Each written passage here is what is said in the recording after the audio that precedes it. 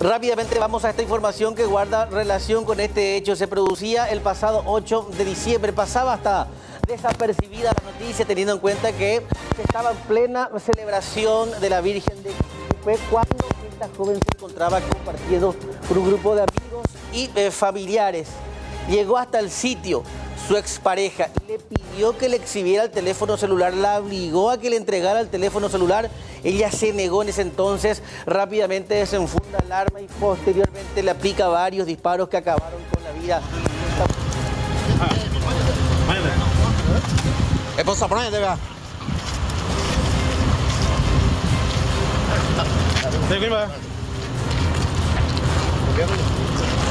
Subí camioneta, camioneta, subí.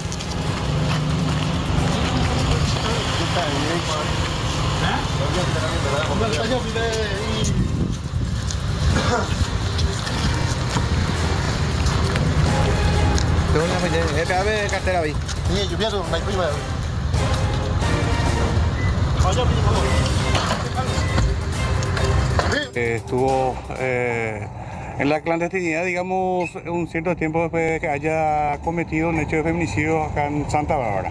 Se venía investigando eh, su paradero, comisario, ¿no? Sí, este equipo que, está, que hizo el procedimiento del Departamento de Investigaciones eh, estaba siguiendo los rastros de, eh, de este sujeto y a través de inteligencia hoy pudieron ubicarle y la aprehensión del mismo. Está a disposición del Ministerio Público. Ya fue puesto, eh, se le leyó sus derechos eh, consagrados a la Constitución Nacional y en la Fiscalía el jugador respectivo del, del caso. Siempre es importante, comisario, también que la gente colabore. Esto fue muy eh, publicado, en este caso, este hecho. Y la gente también así, para que colabore, dando alguna información respecto con total reserva, ¿no?